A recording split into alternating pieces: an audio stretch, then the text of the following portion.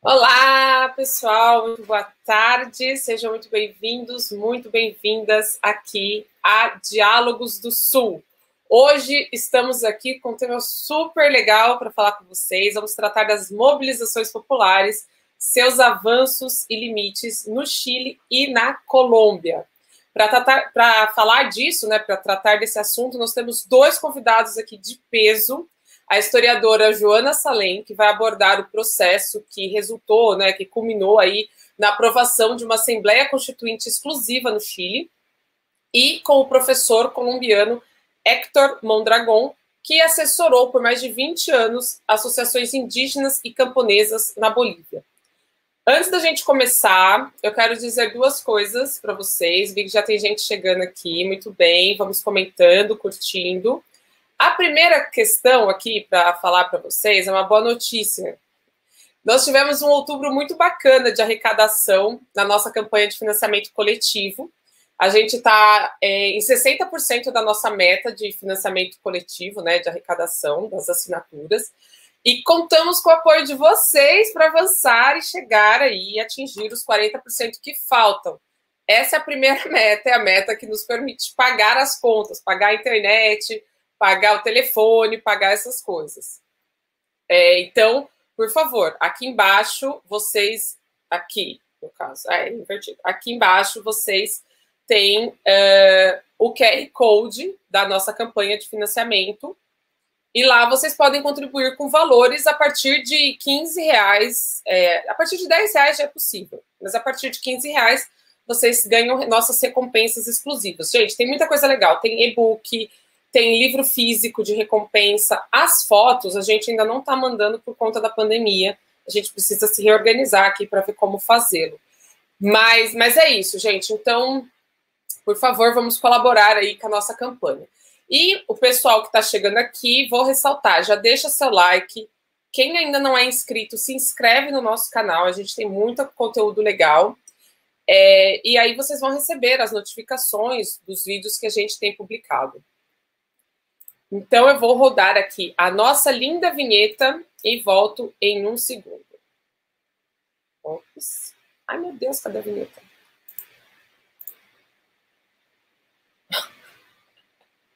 A gente está ao vivo para passar vergonha, né?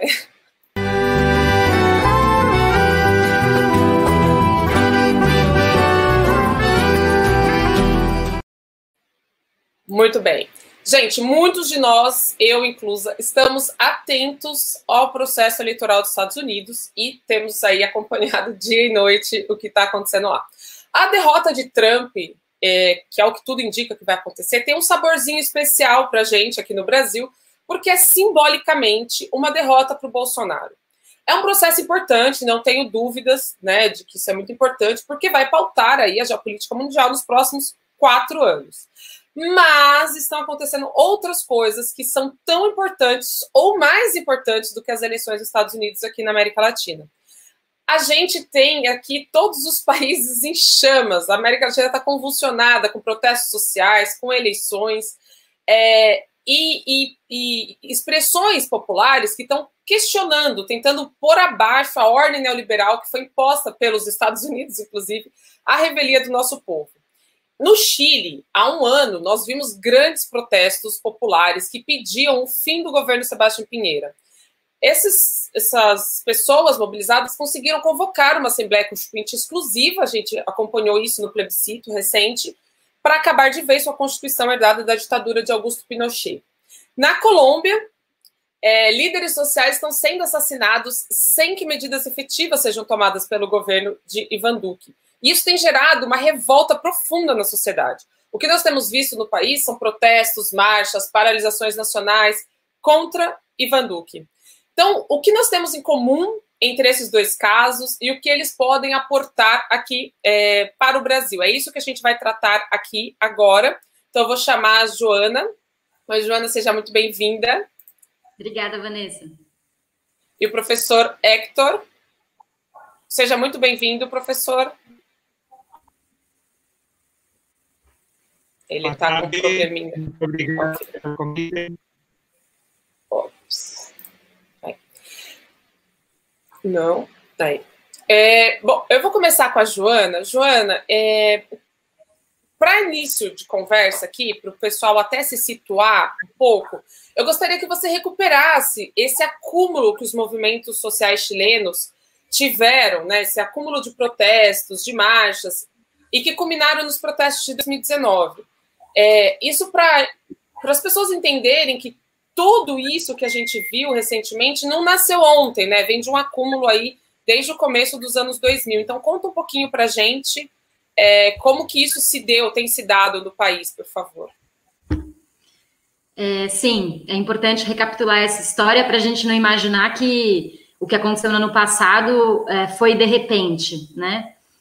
É, bom, eu sou pesquisadora da história do Chile, estou terminando agora, entreguei recentemente um doutorado sobre a história do Chile, e eu morei lá em 2011, depois em 2017, quase todo ano que eu consigo ir para lá, eu vou para acompanhar a situação do país, né? E a, o Chile viveu um, um ciclo político um pouco invertido em relação ao Brasil em alguns aspectos. Me explico. Nos anos 90, o Chile viveu uma relativa estabilidade política relacionada com uma certa expectativa popular sobre a capacidade da democracia entregar suas promessas, né, de um, uma vida melhor. A, não é à toa que a campanha da redemocratização, que derrotou o Pinochet no plebiscito de 1988, tinha como slogan La Alegria já viene, né? Então, havia, sim, uma expectativa popular de que a democracia iria recompor a qualidade de vida e a, e, ia melhorar a situação de vida geral dos chilenos, tanto em termos sociais e econômicos, quanto em termos políticos. E, uh, nos anos 90, uh, ah, o Chile viveu uma relativa estabilidade social, né? Isso também tem relação com um modelo de capitalismo que apostou na rápida financiarização da vida da população.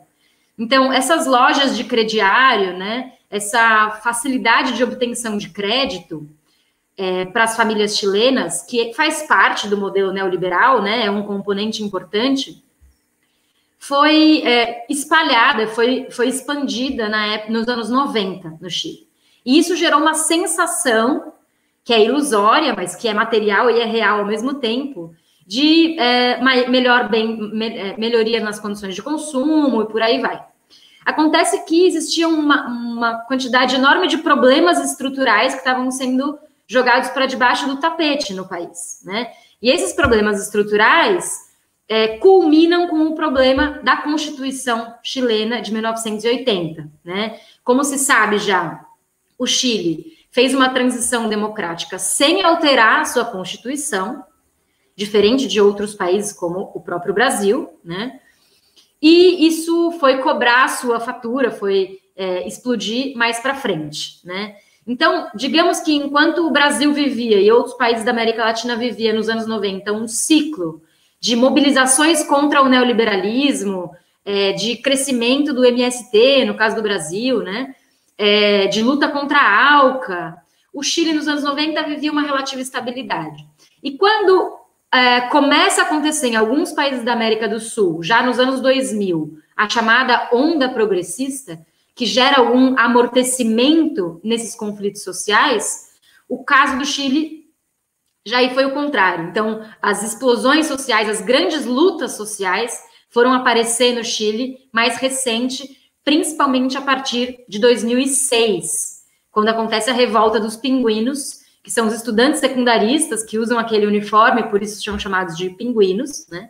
E esses estudantes tinham uma agenda de luta relacionada com ah, uma crítica que eles faziam do sistema de municipalização das escolas, né?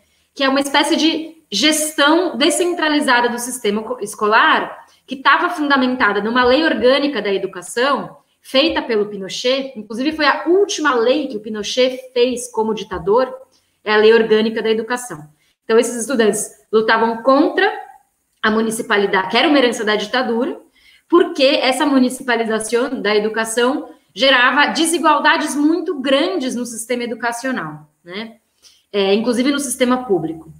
E, além de tudo, já havia uma sensação de insatisfação por causa do endividamento estudantil. Né? Então, tem diversos sistemas de crédito e de financiamento educacional, e o endividamento dos estudantes começa a, a ficar cada vez mais, é, a gerar cada vez mais mal-estar. Né? É, junto disso, é, logo em seguida, aliás, vem em 2011 uma explosão ainda maior de luta estudantil, e a principal consigna que eles, que os estudantes propunham nas ruas era "E vai cair la educación de Pinochet". Quer dizer, existia uma clareza no movimento estudantil de que a luta era contra uma herança da ditadura, que era um modelo educacional herdado do período ditatorial, que gerava não só essas desigualdades que eu comentei na educação, mas também o endividamento, porque o ensino público não era necessariamente gratuito. No caso do ensino básico, sim, existem escolas gratuitas, mas é o sistema voucherizado, né? Então, é, é uma coisa, inclusive, que é um sistema, inclusive, que o Paulo Guedes e outros neoliberais do, de Chicago é, gostariam de implementar no Brasil. É um sistema em que o não existe o direito à educação pública e gratuita.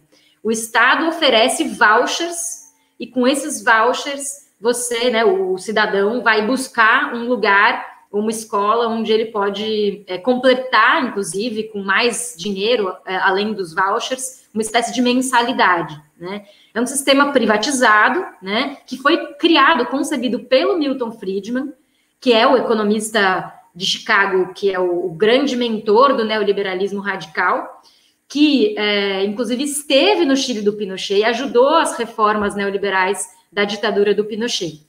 Assessorou diretamente essas reformas. Né? É, outro ciclo de lutas muito importante que estourou nessa primeira parte dos, dos anos 2000 foi a, a luta contra a, o sistema de aposentadorias. Né? Então, o movimento dos aposentados é, se constituiu principalmente a partir de 2015 chamado Nomassa FP, não mas administradoras de fundos de pensão, né? É, que, que é esse sistema previdenciário, que é 100% privatizado, que é o que o Paulo Guedes chama de capitalização, que foi um, uma, um conceito que circulou no Brasil durante a reforma da Previdência no ano passado, mas que acabou sendo derrotado. Né? A capitalização nada mais é do que uma previdência 100% privatizada, em que cada um depende de si mesmo para garantir a sua própria aposentadoria em, em contas individuais que na, nas quais o, o aposentado, o, o, trabalhador, entrega sua contribuição diretamente para uma empresa privada, né?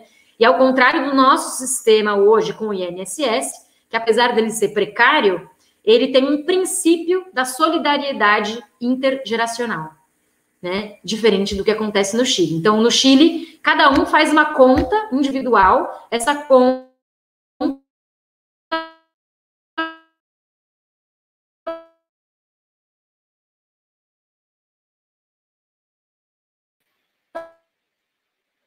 Será que ela travou?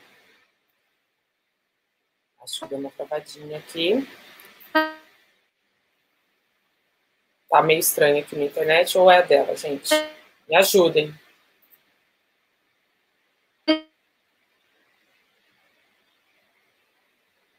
Os deuses da internet, das big techs, não colaboram muito com a gente aqui.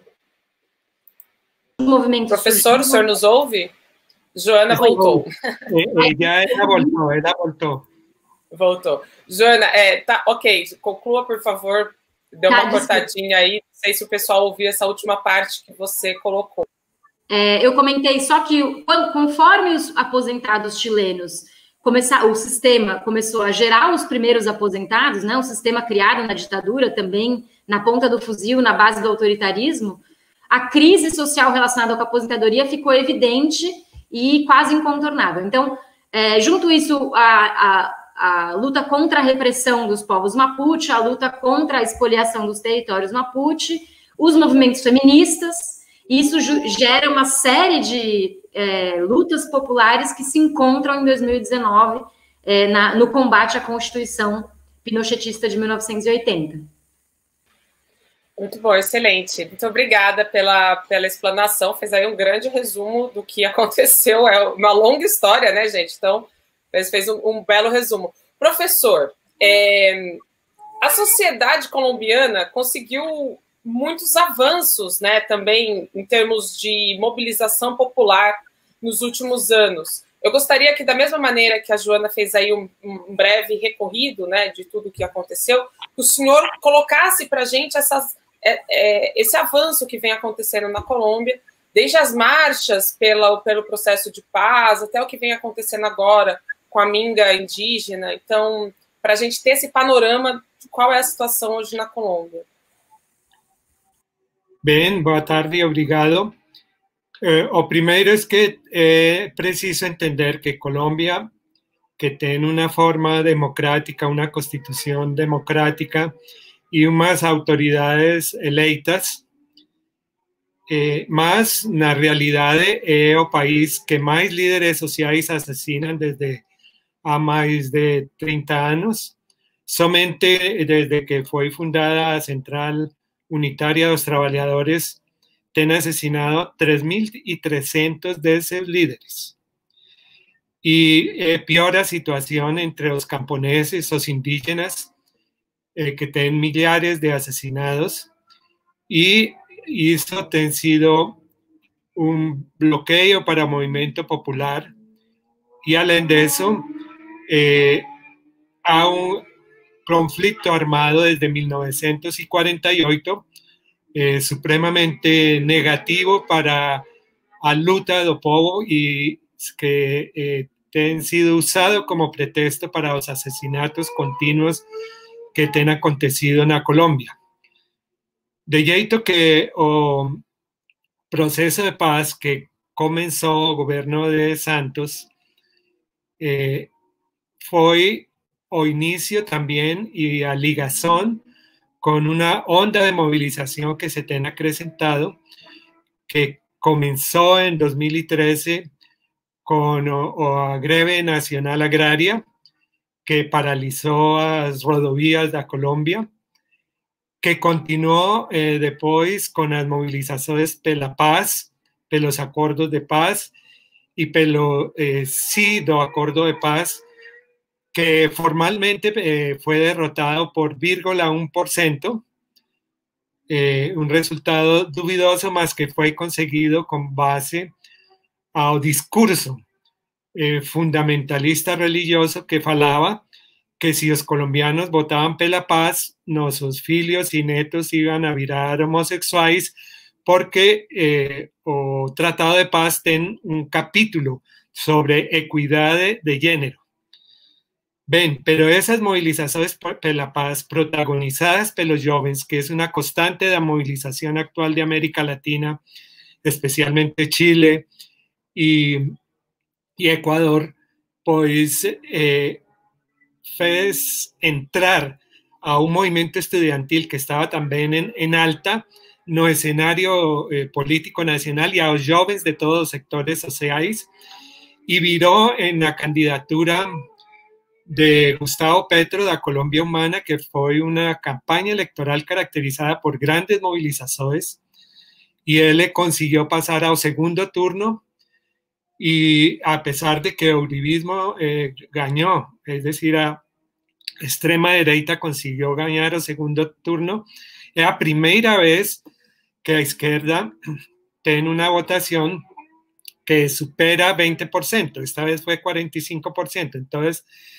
eh, nunca tenía acontecido eso en la historia de Colombia y a, a pos de eso entonces tenemos un ascenso de movilizaciones que tenemos que ver supremamente ligado a ascenso de movilizaciones en América Latina, en Chile, Ecuador y Puerto Rico, por ejemplo, año pasado, Haití, Honduras, este año hemos tenido también movilización muy grande en Costa Rica y esto es respondido como a decisión del partido de extrema derecha llamado de Centro Democrático de hacer farrapos o, acuerdo de paz un eh, hubo ascenso de asesinatos de líderes sociales, de modo que en este año tenemos en promedio, en la media de, la media de un asesinato diario de un líder social.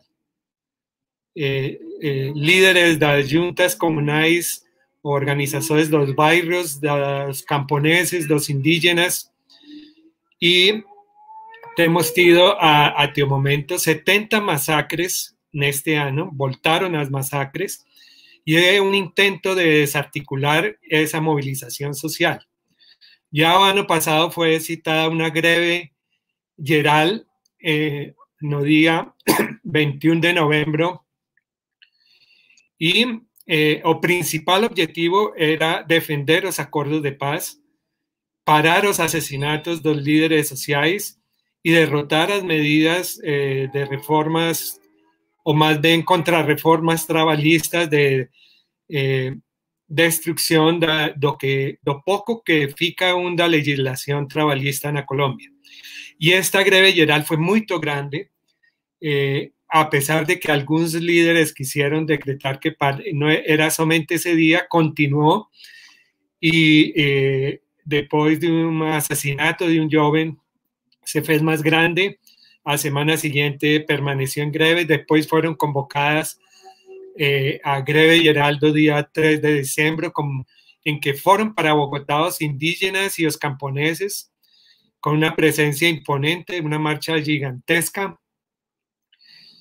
Y las movilizaciones duraron hasta el día 20, 20 de diciembre, muy grandes. Primero las festas de fin y comienzo de año, y após de eso a pandemia, eh, pararon eh, esa onda de movilización. Más, o día 9 de septiembre, o señor eh, Javier Ordóñez, un ingeniero aeronáutico desempregado que tenía que trabajar como taxista, fue pegado preso por la policía con esos aparelhos eléctricos y llevado para un puesto de policía donde fue asesinado con nueve fracturas de cráneo y destrucción de sus rins. Y eso causó una protesta en la ciudad de Bogotá, en la cual fueron destruidos 73 eh, postos de policía como este debido a odio que tienen los barrios populares a estos lugares de los abusos que por años estén cometidos dentro de ellos y desde ellos. Y esa fue una movilización explosiva, espontánea, sorpresiva que fue respondida con bala. Trece jóvenes fueron muertos ese día a bala y 75 personas más fueron feridas a bala, além de presos, etc. Fue una movilización gigantesca de la capital que también eh, aconteció en algunas otras ciudades, más con una fuerza enorme en la capital de, Colombia. Y el día 21 de septiembre eh, eh, nuevas movilizaciones protestaron por eso, por, las masacres y eh, también eh, por el eh, aumento y incremento de los asesinatos de líderes sociales. Y finalmente, en el mes de octubre, a partir del día 12 de octubre, aconteció a Minga. Minga es una palabra que, que, hecho que podría ser equivalente en Brasil a mutidown. Este, mutirón indígena eh, unió esta vez a camponeses y a quilombolas que fueron en unos ómnibus típicos rurales de Colombia que la llaman de chivas y fueron centenares de estas chivas a ciudad y fueron recibidos como héroes de la población, no solamente de Bogotá, sino de las ciudades que pasaron no camino. Y esta movilización culminó con una eh, greve nacional o día 21 de octubre, que fue especialmente fuerte en la ciudad de Bogotá.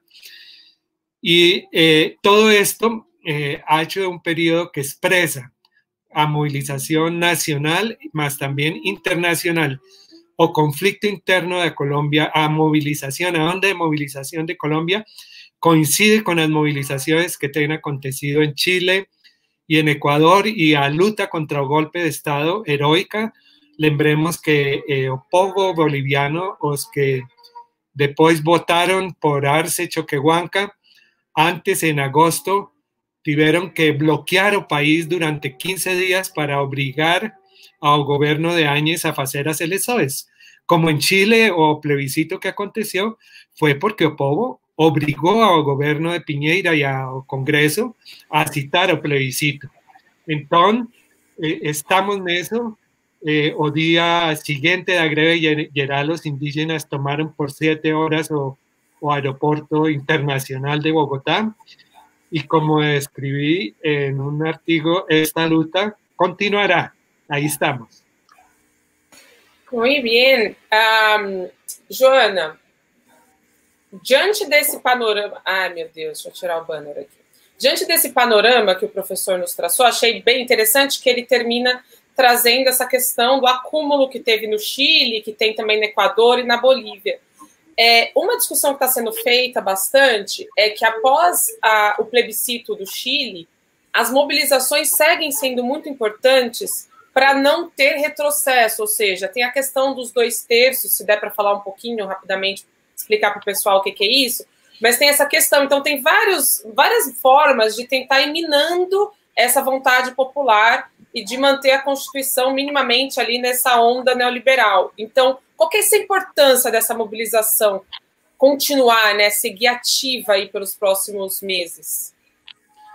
É importante perceber que esse plebiscito que aconteceu no dia 25 de outubro no Chile só aconteceu por causa da pressão popular. Porque os partidos políticos considerados de centro-esquerda, como o Partido Socialista, o PPD, ou até de centro, como a Democracia Cristã, esses partidos que compuseram o pacto partidário chamado Concertación, são partidos que fizeram um pacto com a Constituição de 1980 e com o neoliberalismo. E, portanto, a pressão para se sair da armadilha dessa Constituição de 1980 veio totalmente de baixo para cima. Os partidos políticos, inclusive a esquerda, inclusive a nova esquerda, tiveram que acatar essa pressão popular. E, nesse sentido, embora exista uma expressão partidária de uma nova esquerda, essa nova esquerda ficou muito fragmentada no último período, são os partidos de esquerda que formam a frente ampla, ficou muito fragmentada, muito é, é, metida em uma série de polêmicas internas, e, é, principalmente, essa nova esquerda, parte dela, assinou um acordo com o governo Pinheiro e com o conjunto dos partidos, inclusive da extrema-direita, no dia 15 de novembro do ano passado, chamado Acordo pela Paz Nacional. E esse acordo visava, em primeiro lugar, acalmar os protestos e fazer com que as pessoas voltassem para casa, reduzir o nível de violência, né? E, ao mesmo tempo, institucionalizar a luta que estava acontecendo, fazer com que o parlamento recuperasse o controle do processo político, que está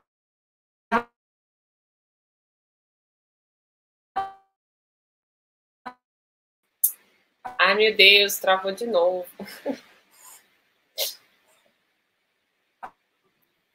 Bom, vamos esperar ela se re, re, restabelecer ali a conexão. Tava ótima, mas deu ali uma. Sim, parou. Parou Tranco. completamente. É, dá uma travada. Coitada, ficou congelada aqui. Bom, é, enquanto ela volta, professor, eu acho que é interessante a gente pontuar. O senhor falou da minga, né? Um, é um processo super importante. E a gente vai ter agora um protesto no dia 21, 21 de, é, de novembro. Então, o que, que a gente pode aí, como é que a gente vai acompanhar, o que, que a gente pode esperar desse protesto? Vai ser um protesto massivo ou está perdendo força essa mobilização na Colômbia? Como que o senhor está vendo isso?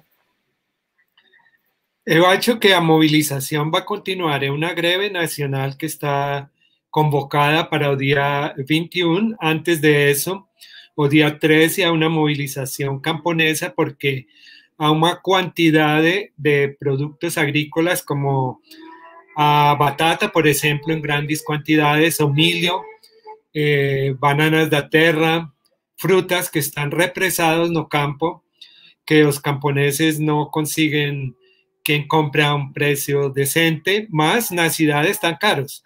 Y ellos falan que no hay demanda, más demandas porque en los barrios no tienen dinero para comprar las entonces el gobierno debería dar un auxilio emergencial o que está dando esa, eh, solamente o 30% de lo que dan en Brasil y solamente para un 25% de, de, de, eh, de población con respecto a lo que acontece en Brasil. Entonces, eh, en este momento tenemos que, por ejemplo, en la ciudad de Cartagena, antes de la pandemia, o 75 por, o 85% de la población comía tres veces no día.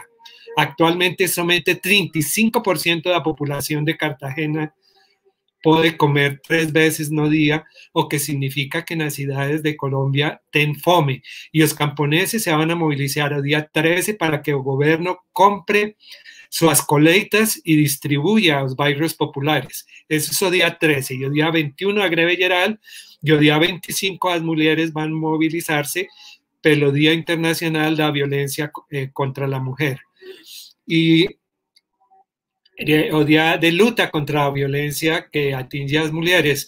Estas movilizaciones seguramente eh, van a ser muy importantes y a onda de movilización va a continuar. El gobierno no negocia, no aceptó recibir eh, o presidente a los indígenas que fueron a, a Bogotá, más ontem recibió a, embaixador do pseudo presidente Guaidó y todas estas cosas van causando ira pueblo, ha hecho que la situación esa de eh, represamiento de los productos agrícolas eh, muy fuerte o, o nivel de pobreza en Colombia pasó de, de, de familia 32% a 37% de pobreza y el caso de los jóvenes alcanza 43% de los jóvenes de Colombia están entre, en pobreza y tal vez hay una razón objetiva, além de todo proceso juvenil de lucha por la paz, la participación tan masiva de los jóvenes eh, en las luchas últimas y la explosión que aconteció en Bogotá el día 9 de septiembre. Entonces, he hecho que a, a, a, tendencia de una onda de continuar en un periodo de greve de masas que tenemos en Colombia, en América Latina, a inspiración de gente, vemos que eh, o gobierno como Piñera en Chile que intentó culpar a redes internacionales de, las movilizaciones de, Chile que realmente fueron com comenzadas por los adolescentes de, de, secundaria que comenzaron a pular las catracas do metro. En Colombia, o 9 de septiembre, a, o gobierno faló de una red internacional y de los guerrilleros y todo eso, no realmente eu acho que os jovens se inspiraron mucho más en lo que aconteció en Minneapolis cuando George Floyd fue asesinado, que fue una explosión que aconteció en, en varias ciudades de Estados Unidos. Y oye, pues la internet, las redes sociales, eh, ha hecho que Javier Ordóñez fue George Floyd colombiano y hemos visto otras movilizaciones eh, muy fuertes contra la violencia policial, por ejemplo, en Nigeria, y grandes greves gerais en Indonesia contra la destrucción de las leyes trabalistas, en Tailandia, pelo fin de monarquía y la democracia plena. Entonces estamos en una situación internacional y he hecho que la tendencia internacional, no solamente de Colombia, es a movilizarse, más en Colombia a movilización para que no nos mate. Uau, que pesado, né? Que forte isso. Joana, é, você congelou na hora que você estava explicando um pouco essa questão da mobilização no Chile, então gostaria que você retomasse, por favor, é, esse raciocínio.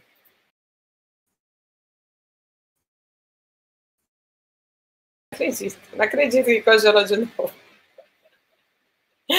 Inacreditável essa internet. São Paulo e as big techs, a gente não está se dando bem aqui com a internet. Bom, aguardemos, aguardemos o retorno aqui, com certeza ela já deve estar tá aqui se restabelecendo. É, mas, mas, professor, que, que, que forte isso que o senhor coloca, né, dessa questão de estamos lutando para que não nos matem, é, é algo assim rapidamente, só para a gente ter um panorama aqui, que o pessoal. É, a gente é, é, um pouco refém né, da, da, da, mídia. Como que o senhor avalia que os, a cobertura que tem para esse processo da Colômbia, né, da, dessas mobilizações e tudo? É, é bem marginal, né? As pessoas não, não, não sabem o que está acontecendo. Aqui e em outros países a mídia não fala nada. Uhum. Ninguém sabe em Brasil que todos os dias estão matando líderes de Colômbia, que temos 70 massacres neste ano. É um processo de ocultamento intencional. E uma vez um jornalista, quando foi a votação sobre a paz, que me entrevistaram, me perguntava, ¿y por qué aquí no sabemos esto? Y yo contestaba, eso pregunto a vocês, porque si vocês entran a redes sociales o inclusive en la media de Colombia, pueden saber, mas no quieren saber. Joana, agora você agora voltou. Oi, desculpa, então, é... agora eu tô, né? Agora tá. Você falava uma questão importante, né, da, das mobilizações na Colômbia, não, no Chile. Você falava aí da questão da importância, né, de essas mobilizações perdurarem, né, para garantir aí as conquistas que se espera que sejam, sejam conquistadas, né, com o plebiscito. Então, por favor, para você concluir o raciocínio. É, não, não existiria plebiscito, não existiria nova Constituição se não fosse a mobilização popular, né? Porque existe um pacto partidário da maior parte dos partidos políticos, com raríssimas exceções, que é um pacto neoliberal que perpetuou a Constituição do Pinochet durante os últimos é, 30, 40 anos, de 1980 até aqui, né? Mas pensando 30 anos de democracia, né? E o grande problema é que esse acordo que eu comentei de 15 de novembro do ano passado, e depois uma lei que estabeleceu as regras de como vai acontecer o processo constituinte, determinou que a Constituição precisa ser aprovada por uma maioria de dois terços, o que é um resquício da ditadura, porque a própria Constituição da ditadura vinha com essa armadilha de ela só poder se transformar a partir de uma maioria de dois terços num sistema partidário que inviabilizava uma maioria de dois terços a ser alcançada por conta do processo eleitoral com características próprias, né? Chamado sistema binomial, que inclusive foi transformado recentemente no governo Bachelet. O governo Bachelet também chegou a fazer uma é, encenação de reforma, de, de reforma constitucional e promoveu debates ao longo de todo o país com é, grupos que se reuniam e vinculavam as suas propostas, enviavam para o governo, e no final das contas não havia vontade política real do governo do Bachelet II de realizar uma Assembleia Constituinte e nem uma reforma constitucional. E uh, a pressão popular explodiu, porque havia muita frustração. Todos os problemas que a sociedade chilena sente hoje, de falta de direitos, de desigualdade social, de miséria, de endividamento, de ausência de direito à saúde, educação à previdência, são problemas que convergem para a necessidade de alterar a Constituição da, do Pinochet, que tem como principal conceito a ideia do Estado subsidiário, que é a ideia de que o Estado não tem o dever de garantir direitos. O Estado tem unicamente responsabilidade de garantir o livre mercado e nada mais do que isso, né? Então, na verdade, é um Estado que atua em favor das grandes corporações, em favor do livre mercado, e ao fazer isso, abandona a população à própria sorte para conseguir realizar os seus direitos com base no endividamento, com base em serviços caros e de má qualidade, é, e isso foi acumulando um mal-estar. Então, o problema é que a nova Constituição já veio com essa herança na, no processo decisório, que é a, a determinação de dois terços, de maioria de dois terços. Isso quer dizer que se a direita junto com a centro-esquerda, quiser obstruir uma agenda de direitos na nova Constituição, basta que eles somem um terço dos parlamentares eleitos em 11 de abril do ano que vem, para eles conseguirem obstruir esse processo de recomposição do pacto social chileno no sentido de uma democracia garantidora de direitos e também de uma democracia participativa, né, em que os cidadãos tenham real poder para tomar decisões e para atuar na, nas decisões políticas do sistema parlamentar e partidário, né? Então, o dilema hoje é é, da parte da população mobilizada é como transformar esse processo constituinte, que foi criado com base num acordo de partidos que a própria população critica, como transformar esse processo constituinte num processo constituinte popular. A única forma disso acontecer é a partir da mobilização popular, né? Então existe, por exemplo, um outro dilema que é o seguinte: e os assuntos em que não há maioria de dois, ter de dois terços para se tomar uma decisão? O que vai acontecer com esses assuntos, né? É, por exemplo, existe um, um tema sobre o sistema, a reconstrução do sistema de aposentadorias do Chile. E se não houver maioria de dois terços em defesa de um sistema solidário, é, tripartite, que, que garante o direito à aposentadoria digna.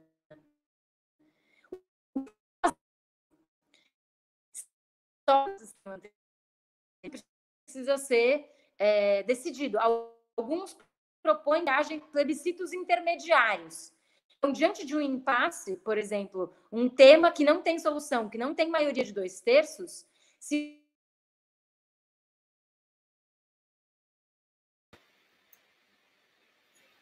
Ai. Caiu, agora ela caiu total, gente. Que lástima. Bom, é, vamos lá. Professor, tem várias perguntas aqui. A Flávia faz um comentário. Flaveia, Flaveia faz um comentário aqui é, interessante, né? Quando o senhor colocou que as pessoas não sabem né, o que está acontecendo na Colômbia, ela disse: se fosse na Venezuela, com certeza saberíamos é, a Venezuela tem uma cobertura até desproporcional. Com tudo que acontece lá, chega aqui, chega enviesado, mas acaba chegando. E nos outros países da América Latina, o Chile até teve alguma cobertura, foi interessante, mas de fato, Colômbia é basicamente esquecido, a não ser que seja para vangloriar o governo, os governos de direita que se tem lá de alguma medida neoliberal, questão econômica. Ben, eu acho que, que a, a, a, razón pela qual ocultan tanto de Colombia é a, a posición estratégica que ten con respecto aos planos dos Estados Unidos.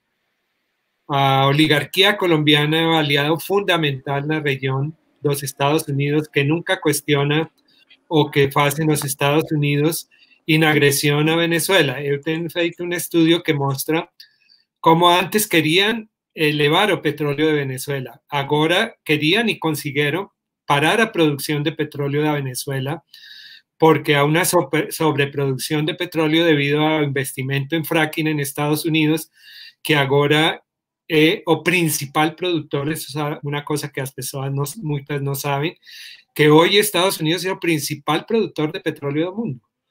Y si no congelan la producción de países como Venezuela o Irán, a falencias de todos estos investidores en fracking, va a causar una depresión mayor de la que existe ahora por la pandemia y en parte también por la queda de los precios del petróleo. Entonces, eh, eh, estratégico para ellos es que Colombia sea aliado y tenga que ocultar especialmente a los brasileiros, más a todo mundo, que Colombia un país eh, donde se asesina a oposición, que no hay una real democracia y que, y além de eso, o que aconteció antes, que si Venezuela no tiene hoy comida, es no solamente pelo bloqueo económico o robo los depósitos bancarios de Venezuela y de oro que tenían en Inglaterra, en Estados Unidos, o robo de su empresa distribuidora de gasolina en Estados Unidos, Citgo, y de petróleo, más além de eso, durante 10 años, a, o 45% de la comida producida o importada por Venezuela fue desviada por los paramilitares colombianos por redes constituidas por ellos para Colombia de contrabando. Y, eso también no sabe a, gente que la situación grave que tiene Venezuela en este momento fue provocada por un bloqueo feito por Estados Unidos y por la Colombia. Wow.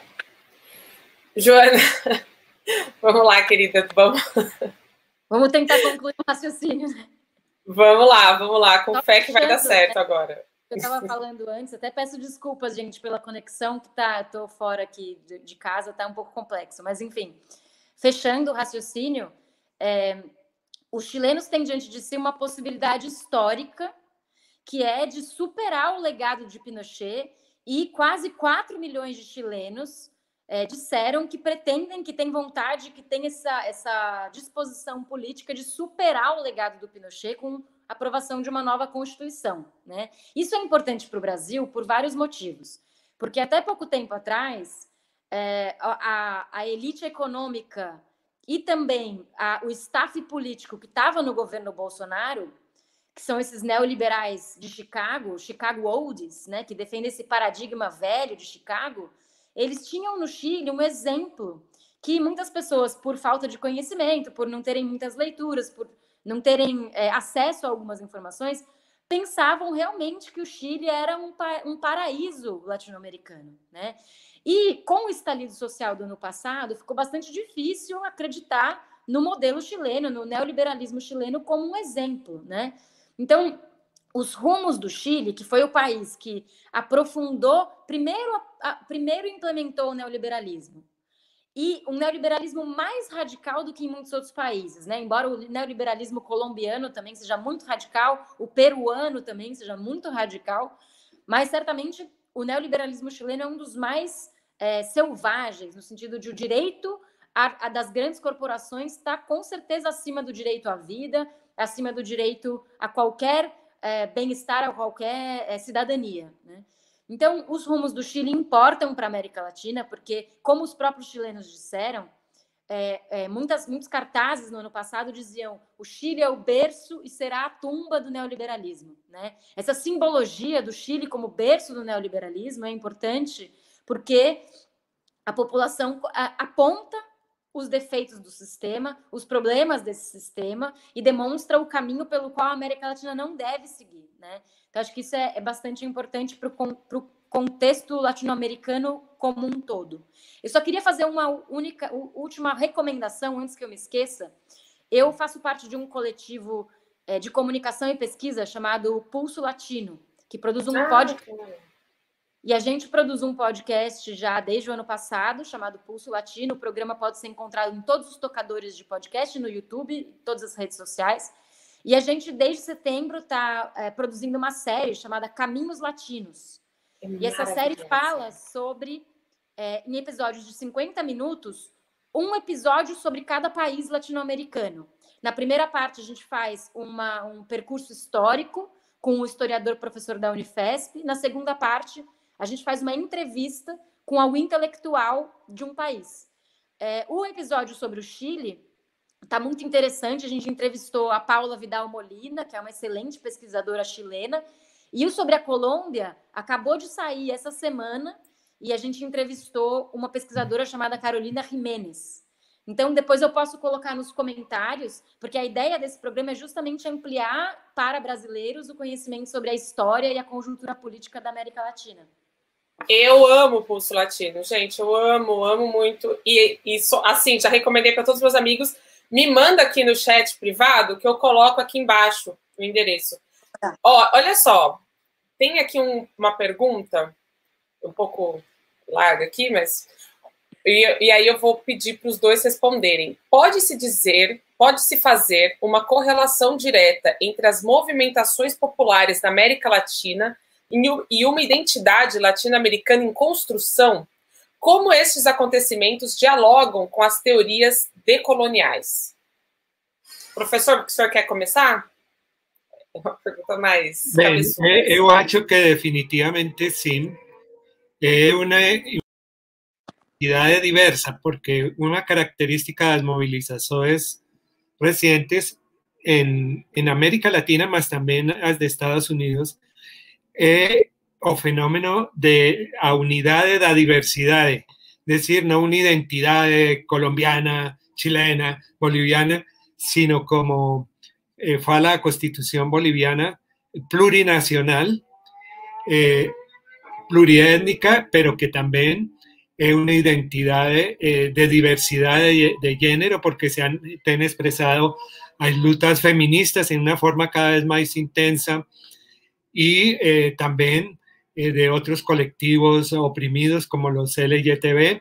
Todo eso, por ejemplo, en Estados Unidos, um aspecto interessante de, desse jogo eleitoral de agora é a eleição de novos e reeleição das mulheres e outras pessoas que, representativas de uma real mudança, a diferença dos partidos tradicionais sempre, mas eh, en toda América Latina vemos el importantísimo papel de los indígenas las movilizaciones de Colombia, de Ecuador, más eh, acolhida, eh, si ustedes eh, pesquisan los vídeos de las eh, celebraciones del triunfo del plebiscito, eh, verán a cantidad de banderas mapuches en las manifestaciones de Chile, y en Colombia las banderas indígenas, Aguipala de Bolivia, más también las de los indígenas de cada etnia de Colombia. Entonces, eh, eso es nuestra identidad. Nuestra identidad es diversa. Entonces, tenemos eh, simultáneamente a eh, defensa de nuestra identidad, a recuperación de nuestra identidad, más también por primera vez una identidad diversa en lo, en lo étnico y no género y no regional que eh, perfectamente nos puede unir como latinoamericanos porque eh, esa diversidad que existe en cada país existe en toda América Latina. Legal, muito bom. Joana, o que, que você acha aí dessa questão colocada aqui pelo, pelo Eduardo, né? Dessas mobilizações populares e a identidade latino-americana como isso pode estar dialogando com uma teoria decolonial? Olha, eu acho que a gente, como o pensamento crítico latino-americano está atravessando o chamado giro epistemológico, né? Que é essa compreensão de que a, o pensamento ocidental iluminista é muito limitado para explicar a ancestralidade das lutas dos indígenas, dos camponeses, das populações africanas e afro-latino-americanas. E as esquerdas latino-americanas é, talvez demoraram um pouco para se dar conta de que essas comunidades indígenas, a cultura, a civilização dos povos indígenas, ensina muito sobre alternativas não capitalistas de vida, né? E é, na minha percepção, é, cada vez mais esses movimentos indígenas estão tra trazendo novos modelos, trazendo novos formatos. Por exemplo, a questão ecológica, posta como uma urgência latino-americana, né? É, em contraponto, inclusive, ao progressismo, que foi extrativista, que foi baseado no, na economia primária exportadora, que investiu em mineração, que investiu em agronegócio, em agrotóxico, em transgênico. Né? Então, esse paradigma da, da centro-esquerda progressista ela é, é, um paradigma completamente compatível com o capitalismo, como sempre, com o business as usual. Né? E uh, esses povos indígenas que estão fazendo a, a luta confrontadora contra esses empreendimentos, eles têm na sua agência e na sua, na, na sua existência uma alternativa que não é apenas uma luta para uma pequena melhoria, né? É uma luta para criar uma alternativa civilizatória. E nesse sentido, eu acho que não só a identidade latino-americana se constrói com base nessas novas lutas, mas também as próprias, os próprios setores mobilizados, principalmente das cidades, que tendem a se identificar com a esquerda, com o pensamento crítico, estão percebendo que precisam urgentemente aprender com esses povos sobre alternativas práticas de vida, de economia, de política, de cultura. E eu acho que nesse sentido, uh, sim, seria muito importante é, pensar nesse, nesse paradigma decolonial como uma ferramenta teórica que pode ajudar nesse processo de lutas latino-americano. Muito bom. Gente, ó, primeiro eu quero falar para vocês que estão chegando aqui, para vocês curtirem compartilharem este vídeo e se inscreverem no nosso canal. A simples curtida que vocês dão aí, é só apertar o botãozinho do joinha, isso ajuda o nosso vídeo a ser mais visto por outras pessoas, a descobrirem e conhecerem o nosso canal. Então, peço para vocês que estão assistindo, dá uma, um joinha aí, dá uma, uma curtida. É, a outra coisa é que aqui embaixo tá? Eu, eu coloquei um encurtador para ficar mais fácil para vocês conseguirem digitar aí na barra. o Pulso Latino no Spotify, tá? Então fica essa recomendação fortíssima para que vocês, estou colocando aqui também nos comentários, recomendação fortíssima para que vocês é, ouçam, ok?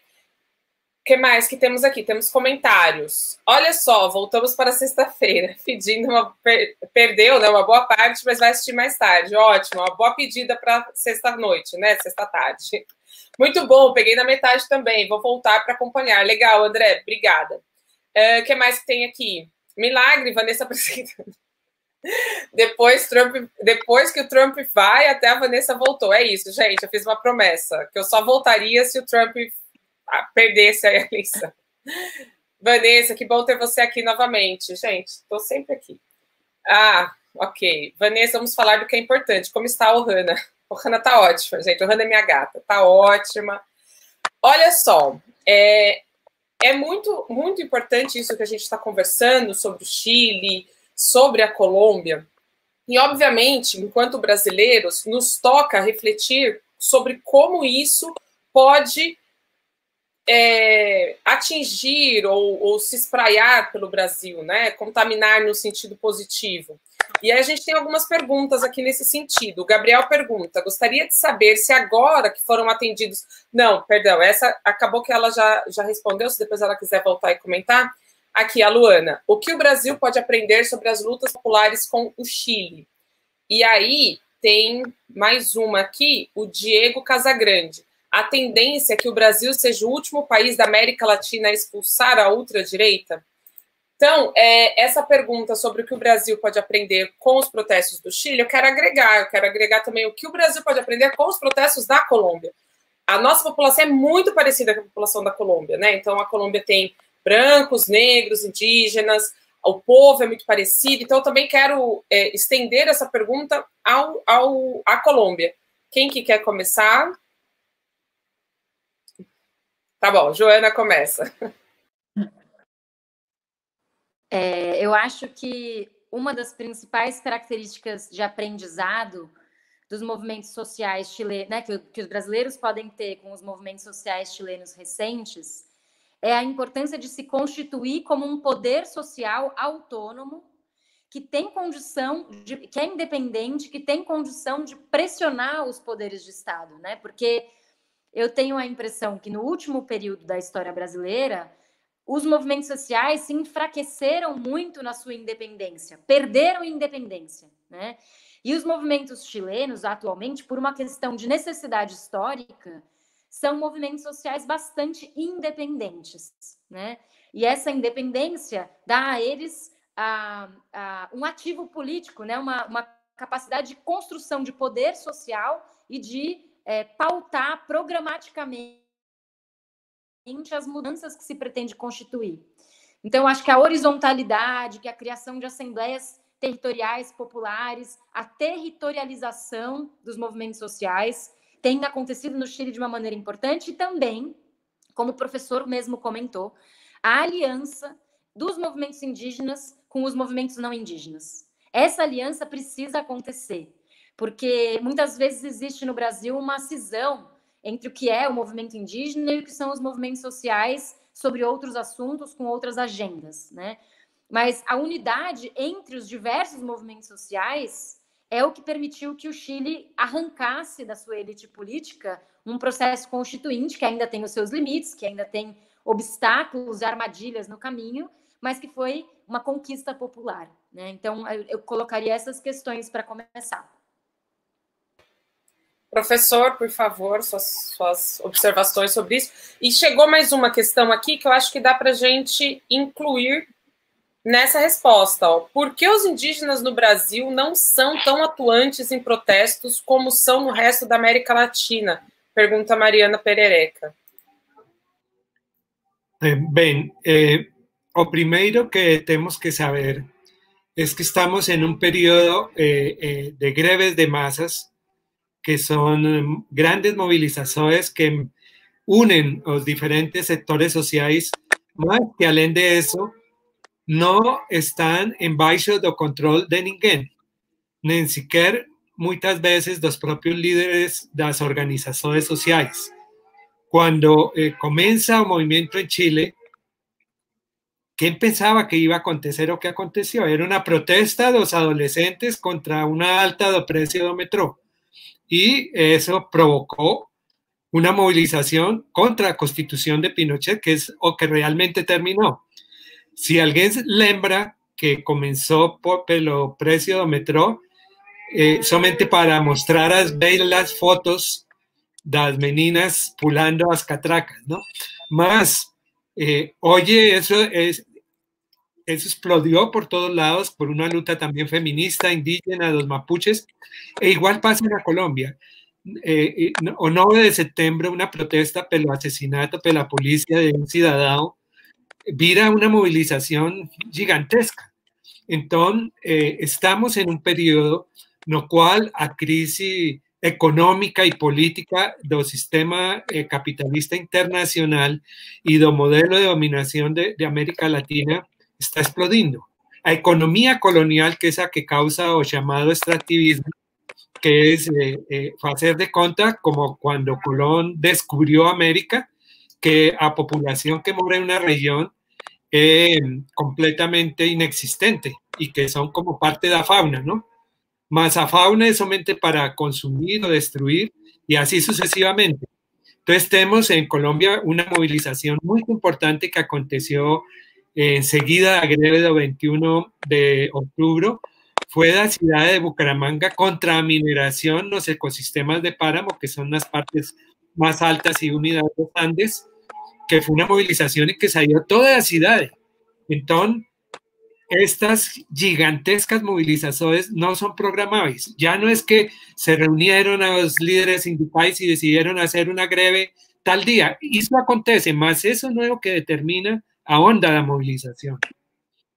Tiene que ir no solamente una autonomía de organizaciones sociales, sino que esa autonomía eh, tiene que ir além de una autonomía de los eh, planeamientos de los líderes de esas mismas organizaciones, porque hay una situación objetiva que faz que quien sea líder para ser verdaderamente líder en este momento es a persona que está preparada para eh, eh, direccionar esos movimientos que no dependen de la voluntad de una persona o de una organización y que se expresan políticamente o que no significa en partidos, porque una nueva constitución es lo más político que puede acontecer.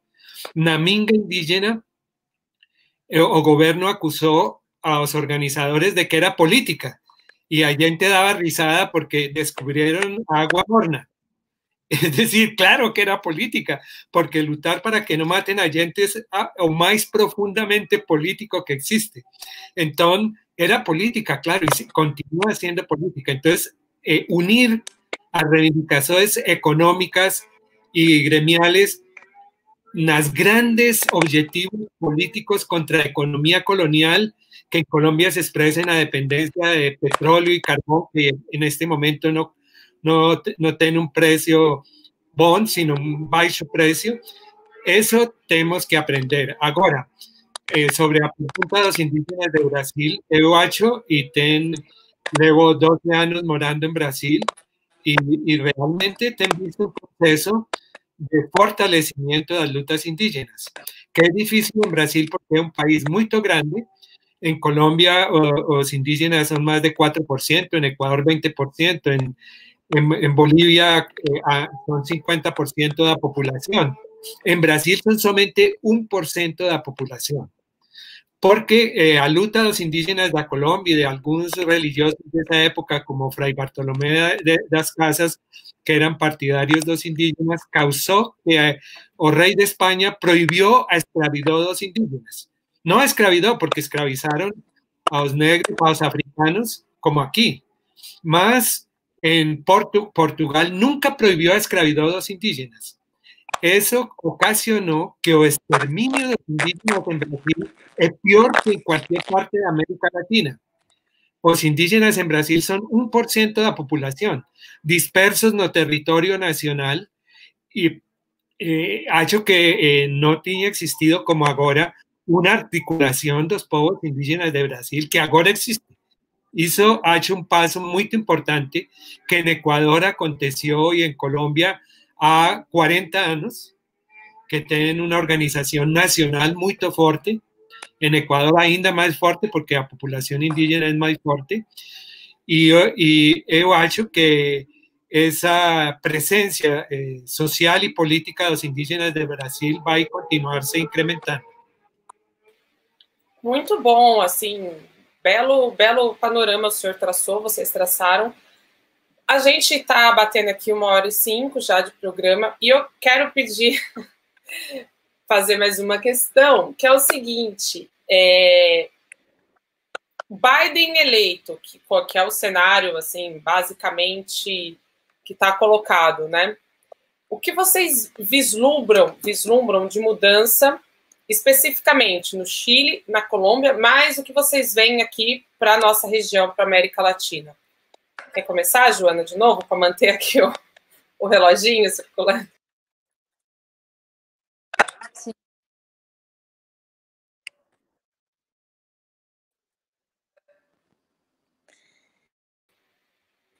É, Não estamos te ouvindo. Agora. É uma, é uma ótima pergunta, né? Porque nessa, nessa de comemorar a derrota do Trump, muita gente é, perdeu um pouco de vista que a vitória do Biden não é exatamente um fato a ser comemorado, digamos assim, né? Então, falando sobre o Brasil especificamente, antes, depois eu falo sobre o Chile. No caso do Brasil, eu acho que é muito importante a derrota simbólica para o bolsonarismo.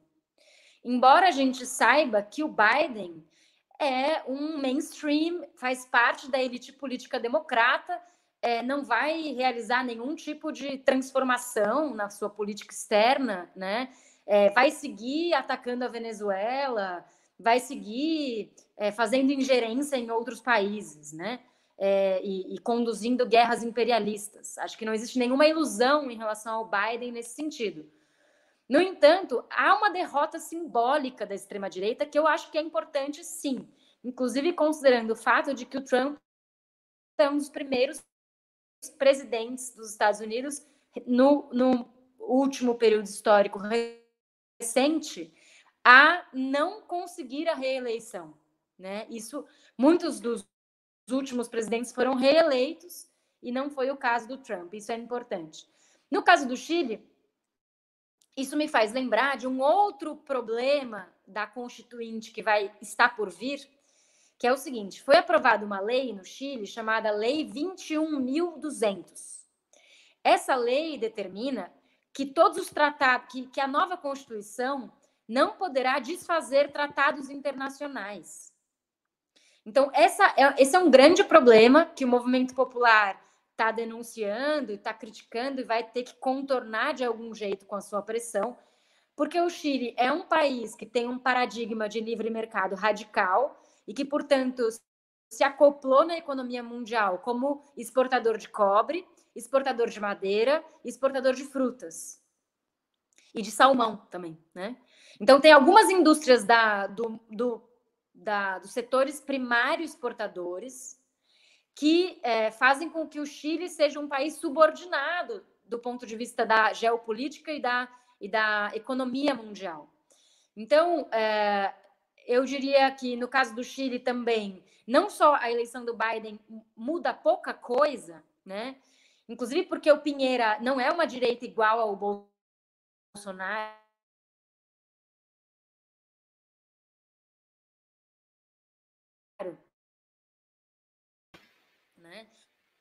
O Pinheiro é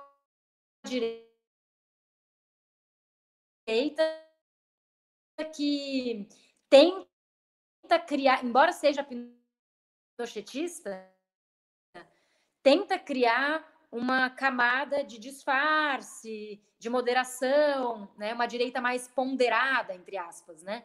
na sua forma de fazer política. Não na sua essência, mas na sua conduta, né? na sua aparência. E a, a Lei 21.200, que determina e obriga que os tratados já assinados pelo Chile neoliberal sejam, é, continuem vigorando e, é, e, e, sejam preservados na nova Constituição. Então, nesse sentido, o Chile tem uma batalha interna para ser feita relacionada com qual é a sua inserção no mercado mundial e como lidar com esses tratados diante de um novo cenário constitucional e como tentar é, desfazer essa amarração gerada pela Lei 21.200, que limita a nova Constituição ao enquadramento neoliberal do ponto de vista internacional. Tem um grande delay, mas agora com...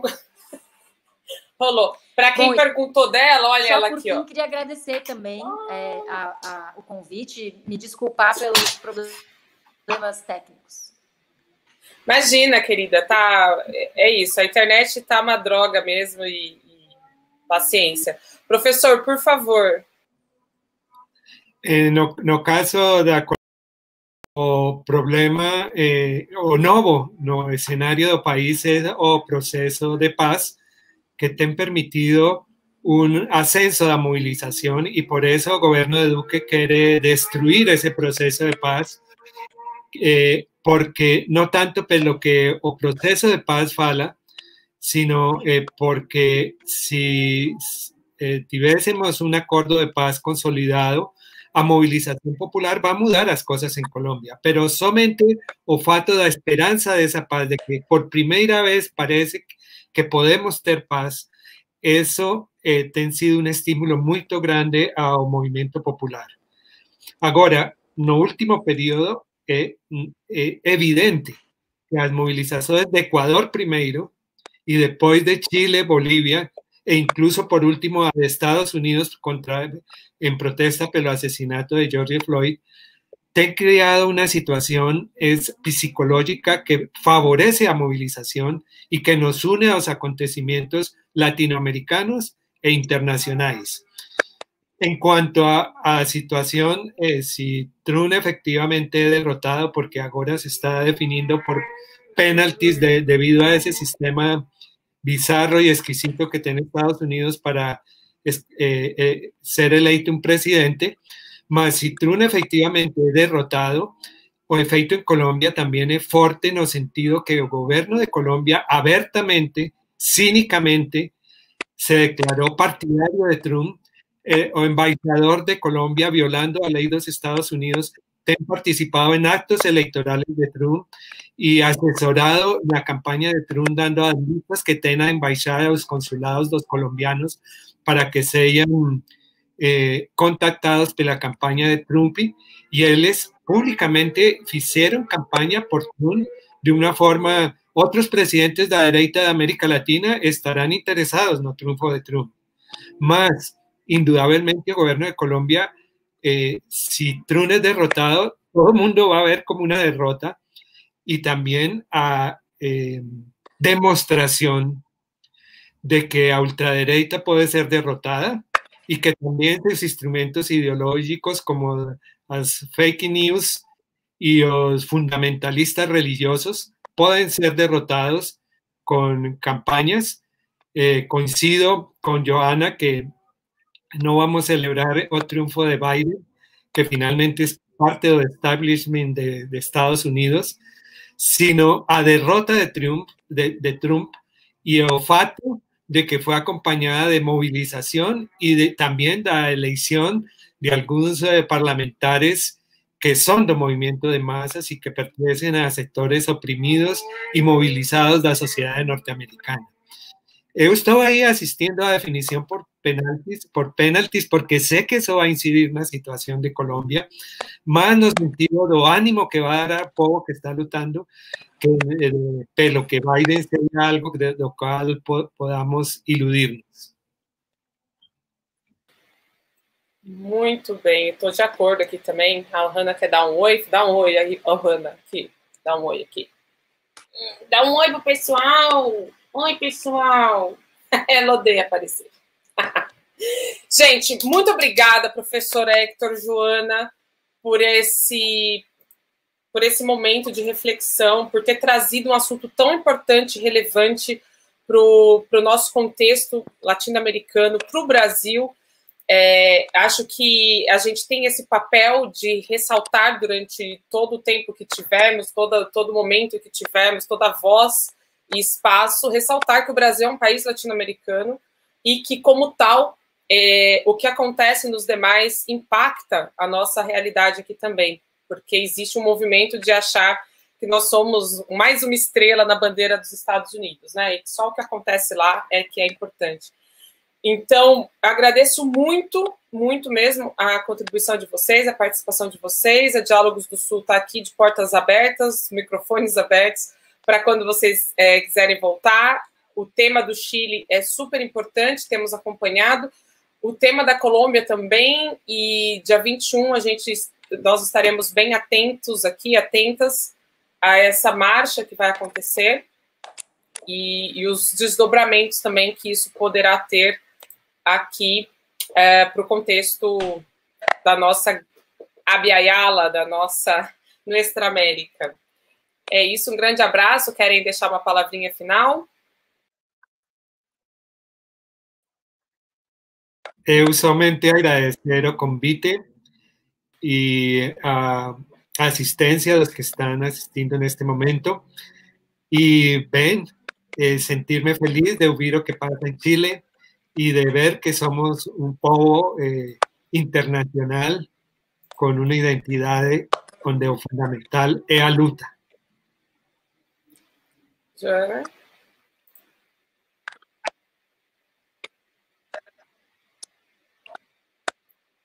Acho que a Joana está com um delayzinho, ó.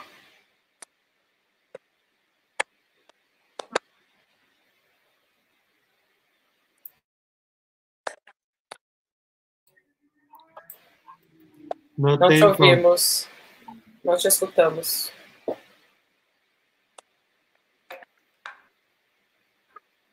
Bueno. Ela tá falando e a gente não tá ouvindo, gente. É um pouco. Deixa eu ver se eu tirá-la e colocá-la de novo aqui. Vamos ver. Não rolou. Bom, ela tinha feito já algum alguma comentário, né, alguma uma consideração. Agradeço muito, professor, até reiterar. Ah, ela voltou aqui. Coitada, vocês não estão vendo aqui o desespero. Ela volta, entra com uma janela, entra no outro, entra no celular, entra no computador. Aqui. Joana? Oi, voltei, desculpa. Opa, Não, hoje eu estou um, um desastre técnico aqui. Não, a minha palavra final é mais de agradecimento. Eu acho que é muito importante para nós brasileiros é, ampliarmos o nosso olhar sobre a América Latina, construirmos uma identidade latino-americana. Eu dava aula de história da América Latina numa faculdade e na primeira, primeiro dia de aula eu sempre perguntava quem aqui se sente latino-americano. Numa sala de 50 pessoas, às vezes só três ou cinco levantavam a mão. Meu objetivo era que no final daquele semestre é, mais pessoas levantassem a mão. Em geral, eu conseguia isso, né? Acho que é importante a gente aprender mais sobre os nossos vizinhos. É, temos muito em comum e a saída é, é latino-americana para os nossos problemas, né? Não é só brasileira, não é só colombiana, nem só chilena. E também espero que vocês curtam a série Caminhos Latinos e, e aproveitem os conteúdos que a gente tem produzido no podcast Pulso Latino. É isso aí. Bom, é isso, gente. Muito obrigada. Um grande abraço para vocês. Muito obrigada por, essa, por esse momento assim, que compartilhamos. Um grande abraço. Hasta pronto. Tchau. Tchau, tchau. Gente, é isso. Tivemos aqui essa brilhante exposição e quero pedir para vocês que aqui estão, para vocês curtirem e compartilharem este vídeo, né? Se inscreva também no nosso canal, quem ainda não fez. Eu vi aqui que bastante gente já curtiu. Mas quem ainda não curtiu, estou aqui esperando vocês curtirem esse vídeo. Já coloquei até o Han aqui para vocês curtirem, tá? Esse conteúdo, ok? Então, estou esperando aqui vocês curtindo esse vídeo. É, Aqui embaixo nós temos nossa campanha de financiamento coletivo. Peço encarecidamente que vocês colaborem, considerem fazer uma contribuição solidária aqui para nossa revista. Daqui a pouquinho, às 18 horas, nós temos é, a nossa amada Camila Godoy, que vai falar aqui um pouco sobre a questão da é, Mariana Ferrer. Então, vou deixar vocês com a chamada para o programa dela às 18 horas. Por isso é importante ativar o sininho de notificações para vocês verem os nossos vídeos. Mais diálogos clandestinos toda sexta às 18 horas. Bom dia, amores! Nesta sexta-feira, às 18 horas, tem o lançamento de mais um vídeo da minha coluna semanal para a revista Diálogos do Sul. E eu abordei o caso de Mariana Ferrer. Vão lá no canal do YouTube e confiram esse vídeo, fortaleçam a nossa luta. A revolução será feminista. Um grande beijo a todas, todos e todos.